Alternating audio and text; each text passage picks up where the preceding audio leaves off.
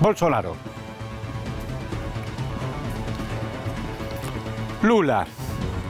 Bolsonaro, hoy presidente, Lula quiere volver a ser presidente. Y se encontraron, Leticia. Sí, se encontraron en la jura del Supremo Electoral y sumo dos personajes más, Michelle Temer y Dilma Rousseff. Michelle Temer. Temer. fue el vicepresidente que le da el golpe, de, el golpe Este es la un destituye- traidor. la destituye Este a Dilma Rousseff y asume ver, como presidente. Este señor es un traidor, este que está de espaldas. Este señor puso presa a esta señora. Sí, Acá está Lula, que lo está mirando a Bolsonaro, que también en complicidad con este señor hicieron la gran mentira republicana.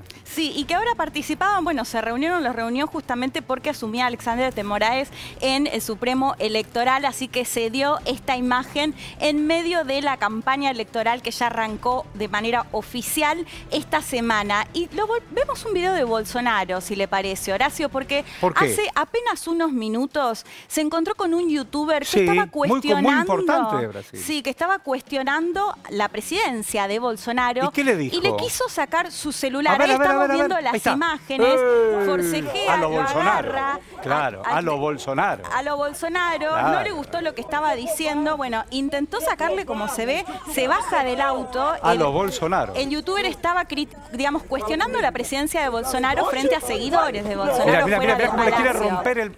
¿Qué le, le quiere? ¿Me vuelve a poner, por favor? ¿Me lo vuelve a poner el video? Mire cómo, miren ustedes, cómo le quiere romper el brazo. Miren, le va a romper el brazo. Le quiere romper el brazo al youtuber.